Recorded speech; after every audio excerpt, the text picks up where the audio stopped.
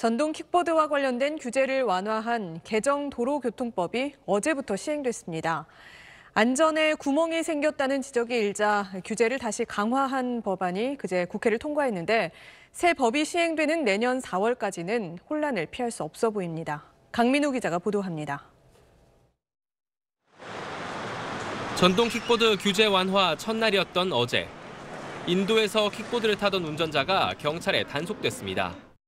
요 위반이 있으신데 일단은 이제 오늘 이제 개도 그 이제 법 개정 되시고 잘 내용도 잘 모르시는 상태이기 때문에 이와 같은 인도 주행을 줄이기 위해 새 도로교통법은 킥보드의 자전거 도로 통행을 허용했습니다.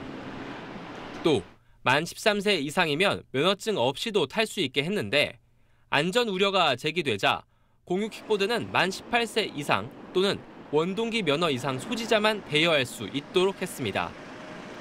하지만 킥보드 사고가 잇따르면서 성급한 규제 완화에 대한 비판이 일자 국회는 다시 규제를 강화한 도로교통법 재개정안을 그제 통과시켰고 이에 따라 내년 4월부터는 면허가 있는 사람만 킥보드를 탈 수 있게 됩니다.